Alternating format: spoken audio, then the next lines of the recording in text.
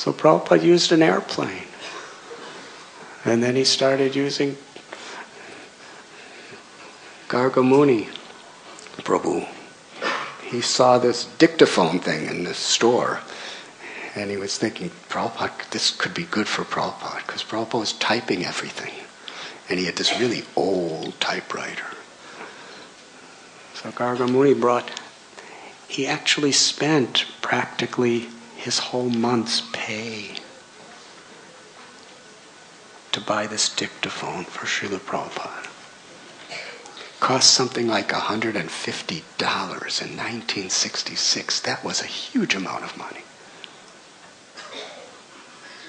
I know uh, I was working in those days. I had a job, and $150 was over two weeks' pay of working six days a week, nine hours a day. And he bought it for Prabhupada. It was the latest and best dictaphone where you just talk and it records it. And he was wondering if Prabhupada would accept it. And Prabhupada, he taught him how to do it, and from that day on, Prabhupada was using it to translate. He can get, he could translate more every day with that. So technology, science, all of these things we have with us today, Yadubar Prabhu and Narasimhananda Prabhu, who are into films and movie making and all these other extraordinary types of devotional service. And, you know, when Yadubar Prabhu first met Prabhupada in Surat, you know, he's a movie maker and he's making, you know, he can make documentaries and everything. Prabhupada didn't tell him, throw your camera in the river Yamuna.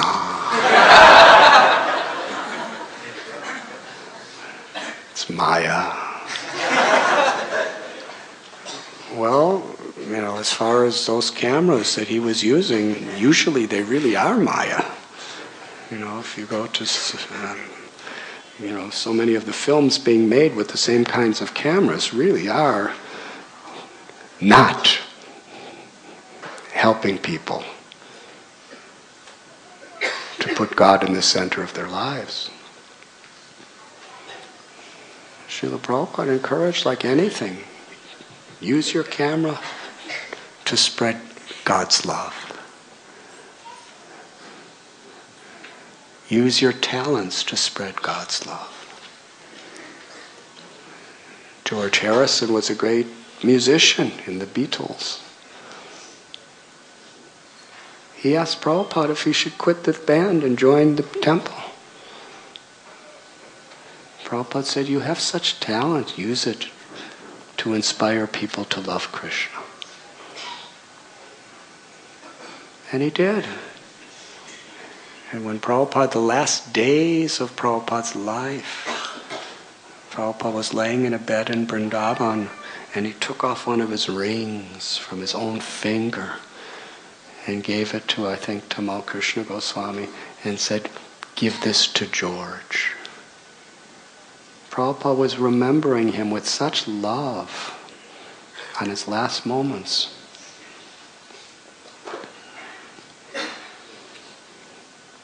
Because he used what he had for Krishna.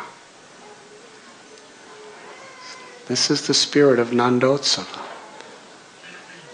Life is meant to be a celebration. Whether we're brahmacharis or sannyasis or grihastas or vanaprasthas or whatever, life is meant to be a celebration. A celebration of our gratitude for Krishna's mercy, Krishna's love, Krishna's beauty, Krishna's pastimes, Krishna's extraordinary gifts. Because Krishna is so beautiful, we could celebrate forever just being grateful that I'm a part of this. To celebrate the good fortune of association of devotees, to celebrate whatever Krishna's given us to utilize in His service. Some people may be living in beautiful homes, brahmacharis. I don't know if any of you have seen, they have these little mosquito nets. That's all they, that's their house. and they fold up into a flat little circle, yes? And they stash it, you know, behind their little cupboards that are this, each brahmachari is a cupboard this big, and behind it they stash a little circle. And it's very good technology. You just somehow or other do something to the circle and it goes poof.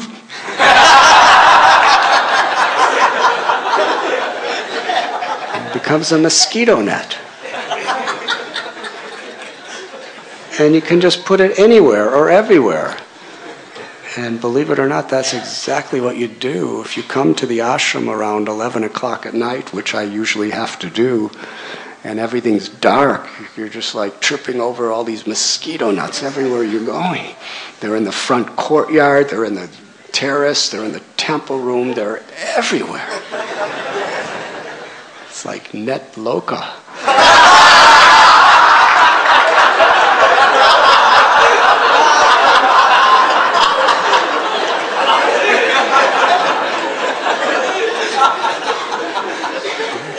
trying to walk around them, but sometimes they're right against each other. It's very difficult. And then you accidentally kick one, and the brahmachari goes, Haribol, Haribol.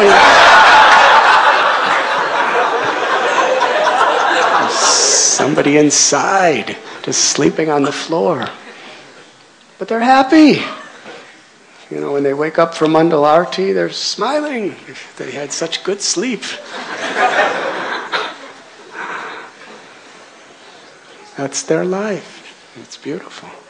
And other people, they're living in very nice homes. Maybe a flat, maybe a house, maybe a mansion, maybe a palace, whatever it may be. But if they understand this belongs to Krishna and I belong to Krishna and let me utilize everything for that with that spirit,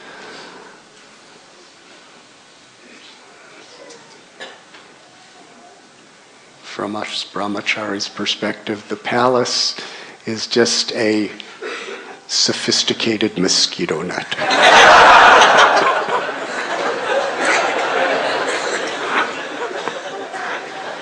it's good. Everything's good if our consciousness is good. And we need people in all these different aspects of life. Yes? We need sages living in forests or in ashrams. We need wealthy people, we need farmers, we need everybody together celebrating life, celebrating our good fortune with gratitude. Really, celebration is about gratitude. When we celebrate a person's birthday, it's not just so that, you know, they're going to give us something because we came. That's sometimes the way it is. But really, a celebration of a birthday is we're celebrating because we're grateful to that person. We should all be together toward Krishna in every situation. That is love. Today is New Year's Day. It is January 1st, 2012. When I was a little boy, I remember I was in KG, kindergarten. And I remember every day we would change the date on the calendar. And the year was 1956. And I can still see that calendar clear in my mind. I would just, because to tell you the truth, what my teacher, Mrs. Puzzle, was talking about didn't really interest me, so I would just kind of look at the calendar.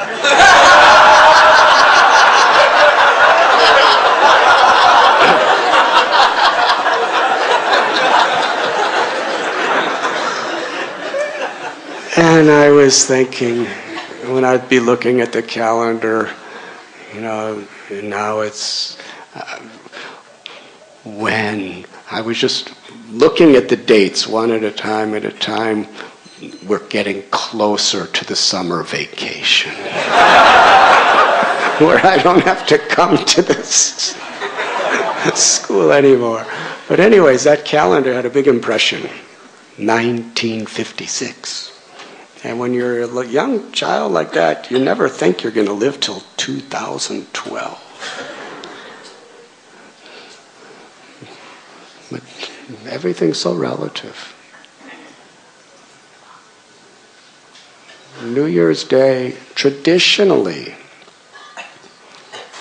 New Year's Day is a time for reflection because it's the first day of a new year. It's like a landmark in our life. And it's a time to reflect. Krishna's all loving. But when the East, sometimes people, they try to impose our conception, our human conception, on the absolute truth or God. So, yes, there's suffering in this world. Why does a loving, good God allow there to be such intense suffering. We all think that way. We've all heard that again and again. For the body and the mind, yes, it's intense suffering. But Krishna is also seeing the soul. The sufferings are not brought about simply by God. He gives us free will if we misuse our free will re- perpetually, again and again and again, and we're getting worse and worse, the laws of karma are not simply meant to punish us. The laws of karma are meant to transform us. Now, for the soul to learn a lesson,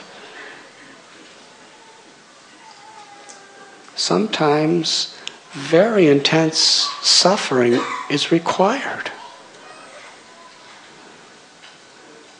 From a completely physical platform, how could anyone allow anyone to suffer like this? But when we see from the perspective of the soul, the eternal soul that's full of knowledge and full of bliss, because of our free will, for some people, unless we go through these kinds of things, the soul never really comes to the right conclusions. So the sufferings of this world are simply meant for transformation. We bring upon them, you know, ourselves individually and collectively by the choices we make, but to help us to choose a healthy life, a pure, blissful life to love God and love each other and be transported beyond birth and beyond death forever. That's the purpose of life. That's the nature of the soul. And every situation is meant to help us to come to the point of transforming our consciousness to seek that and to live by that. So, yes, we read about in spiritual or religious histories concept of repentance. Repentance is healthy if it's done with the proper consciousness. Repentance is not meant, us, meant to make us think that we're just so bad and we're so evil and we just become depressed. Bhagavad Gita, Krishna tells Arjuna, Arjuna was pretty depressed, actually. What is the use of this depression if you're not doing anything positive? It's meant to rise us up to do the right thing with conviction and determination and with plenty of warning, experienced warning. We don't want that to happen again. So, in the new year, when we ponder our mistakes, our mistakes of how we have related to Krishna, to God, within as the Paramatma, with our loved ones, with our friends, with the society, within our occupation or whatever. And that repentance is meant to reflect what do I really want in my life and what do I have to do to get there?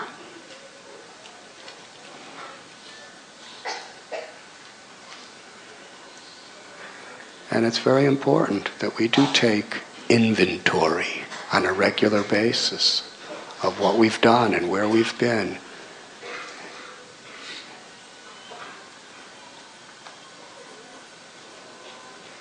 We need shelter. We need guidance. New Year is a time to make these reflections and to help transform our consciousness. Resolutions. I know where I want to go. And with great determination, I'm going to dedicate this year, this life, for this purpose. Krishna has appeared in his name. Kali Kale Namarupe Krishna Avatar. Krishna comes in Kali Yuga as his name. Kalerdosanide Rajanasti Hekamahan Guna Kirtanadeva Krishnasya Mukta Sangha Param. Age of Kali is an ocean of faults. And we're like little matchboxes in that ocean of fault. But there's one benediction that simply chanting Krishna's name in the proper spirit of humility and devotion, one can attain the, the ultimate essence of perfection, liberation.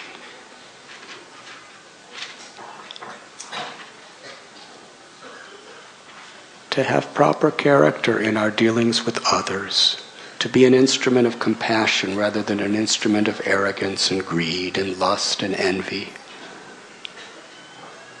And how to do that? We need a strength beyond ourselves. Maya is too strong. We need the association of devotees. And we need to approach the association of devotees or sadhus with the proper spirit. We're coming to serve, not to exploit. We're coming to love.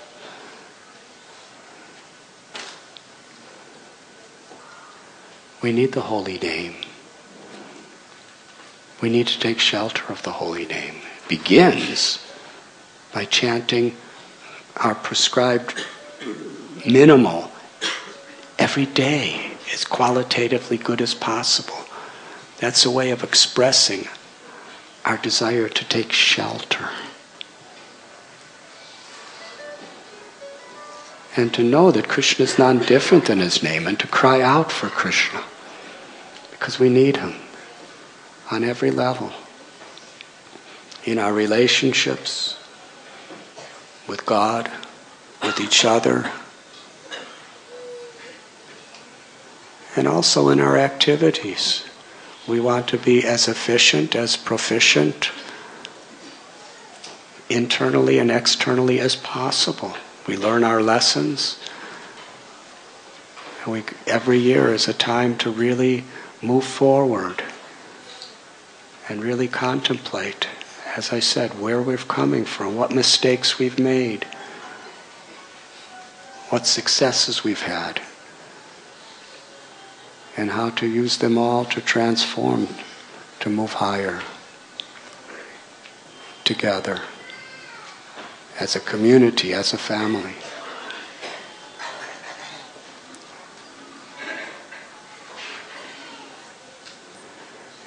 In one sense, every new year, we're one year closer to death. We should reflect on that. But we should also reflect if we utilize our time, our moments within the next year in a spirit of devotion, then we'll be one year closer to eternal life. I wish you happy New Year. Thank you. Thank you very much. Hare Krishna.